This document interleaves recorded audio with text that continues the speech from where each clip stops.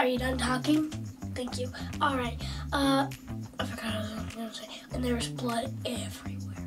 I died, but I came back. I don't know. Edit that. Oh, oh this was terrible.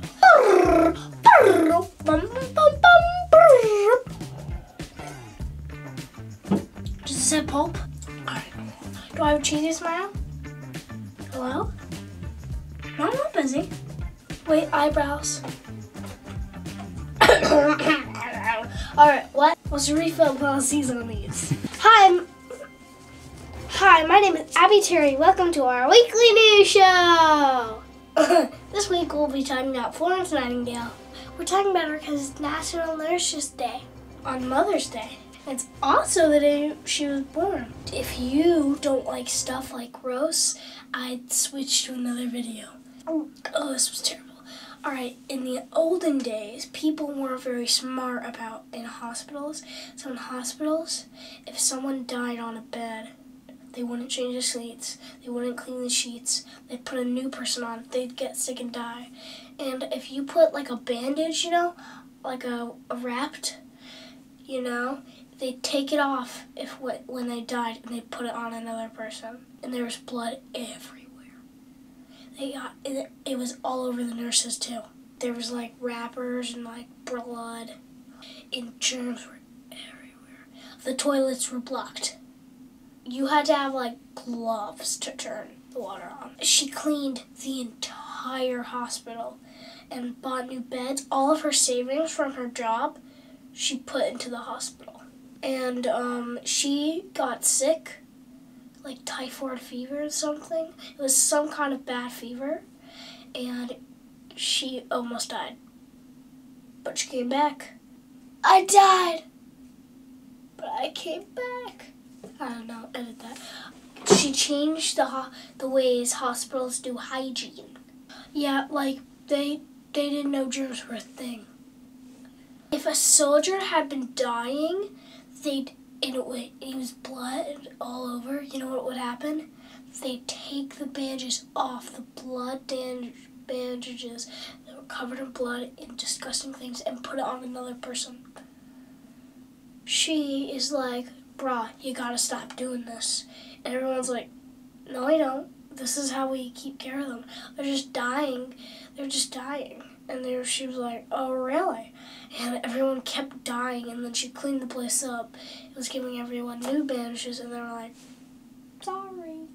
And I just want to take a minute and say thank you to all the nurses. And Auntie M, if you're watching this video, probably Probably can't because you're from in England and you don't have much time to be on your phone. But if you're watching this video, it will soon be National U Day. Well, not National U Day, but you know, you're a nurse. Sorry, I'm getting off track. See ya. She was such an important person in history because she changed the way that we do hygiene today but it's in women's history, not man's, in our history, not man's, in woman's history. And that's it for this week in history. now we're going to go to Phoebe for what she made this week. Made a Joseph coat. I made it for Abby. But it fits me.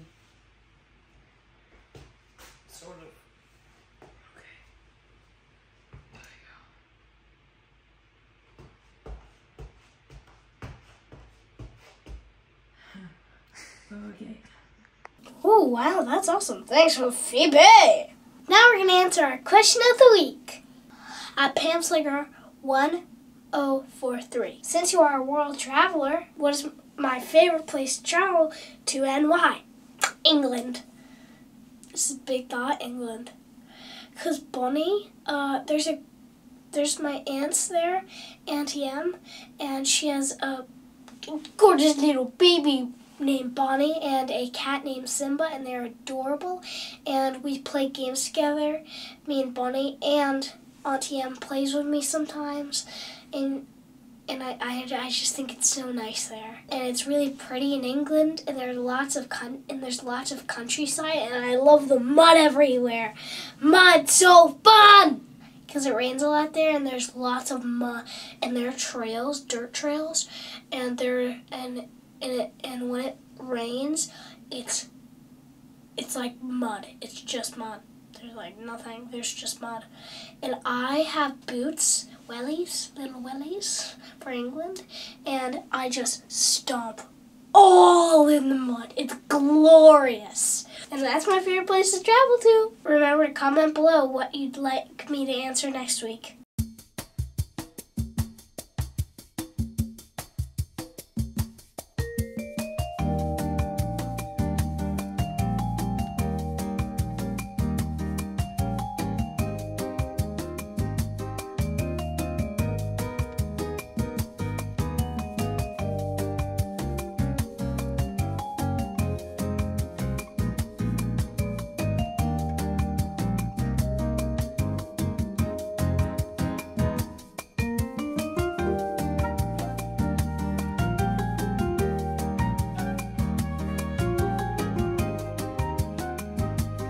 Now, since it's Mother's Day, we'll be doing top 10 things for what you should get for your mother on Mother's Day.